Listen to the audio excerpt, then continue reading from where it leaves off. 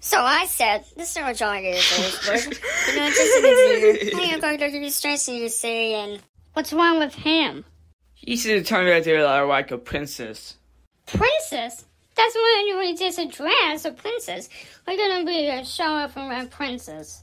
Because the man is like a prince in there, you know. So it's that kind of party. Hit it. Yes, I can. Doubt, better